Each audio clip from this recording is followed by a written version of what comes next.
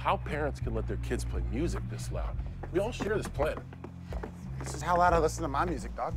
Probably won't even be able to hear us. It's So dark in there. You know, they okay, they could be in the backyard playing two on two hoops. I don't know. Oh, oh, I found a big window. Trust me. Do not look in that window. Listen, look at me. Do not look in this window. Do not look in this fucking window. Julie's red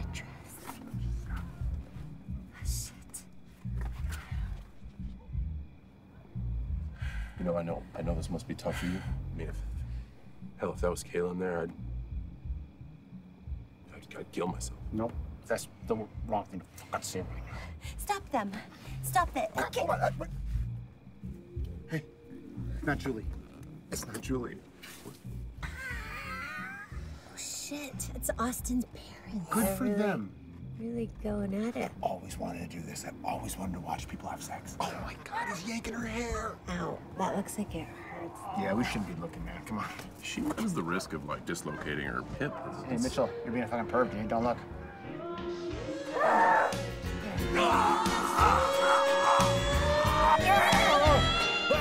What happened? We locked eyes and then he finished. It means his load is on your soul for eternity. Holy shit. Oh, shit. He's Oh. coming. Ah, I'll put it on the plant. Mitchell, what are you doing? What, Lisa? Hey, Ron. What are you guys doing out here? Hi.